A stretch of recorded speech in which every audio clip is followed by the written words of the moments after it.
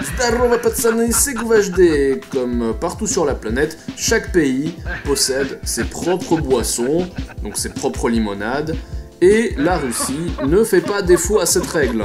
Là-bas aussi, nous avons nos boissons nationales et je ne vous parle pas des boissons traditionnelles comme le kvass, comme le thé à la bergamote. Non, non, non, non, non, non. Et pourquoi est-ce qu'on en parle maintenant et pas avant? Eh bien parce que la Russie a pris une mesure historique l'année passée, à savoir accepter la double nationalité. Auparavant, lorsqu'un étranger souhaitait devenir russe, il devait refuser sa précédente nationalité.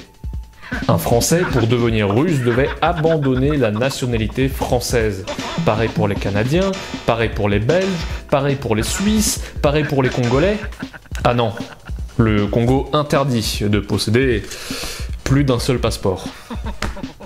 Mais pour la majeure partie des pays occidentaux qui acceptent la double nationalité, vous pouvez aujourd'hui devenir russe. Obtenir le passeport russe tout en gardant sa précédente nationalité. Et quand on dit Pizza Hut, il y a Domino's Pizza qui va avec. Et Domino's Pizza, un peu comme Burger King, ils sont connus pour faire des campagnes publicitaires drôles, euh, pour buzzer, un peu virales, tu vois. Chaque année, Burger King, par exemple, il sort une campagne de si jamais euh, bah, t'es chauve, tu peux venir chercher un, burger. Euh. Surtout qu'un étranger peut sans problème acheter un appartement ou une maison en Russie. Comment faire? Eh bien, quand on est russe et qu'on veut acheter, on a juste besoin de son passeport. C'est le vendeur qui galère à rassembler tous les documents. Quand on est étranger, on a juste besoin de son passeport et de son visa. Mais ça reste le vendeur qui galère à rassembler tous les documents.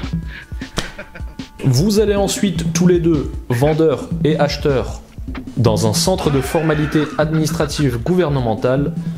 Donc voilà, vous avez désormais toutes les clés en main pour acheter un bien immobilier en Russie en tant qu'étranger, que ce soit pour vos vacances, pour investir ou pour songer y déménager.